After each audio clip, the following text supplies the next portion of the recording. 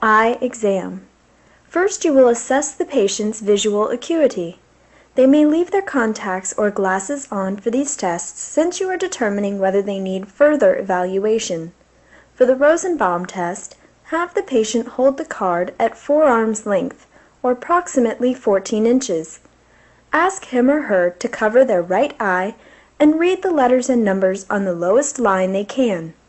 Ask the patient to switch eyes and repeat.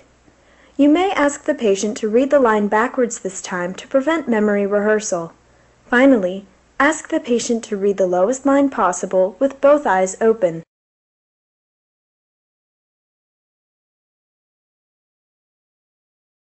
Use the Snellen eye chart to test vision at a distance. Position the patient 20 feet from the chart. As with the Rosenbaum test, have the patient first cover one eye and read the smallest line possible. Then switch the covered eye and repeat. Finally, read the lowest line possible with both eyes open. It is often helpful to occasionally ask the patient to read the chart backwards to prevent sheer rehearsal from memory.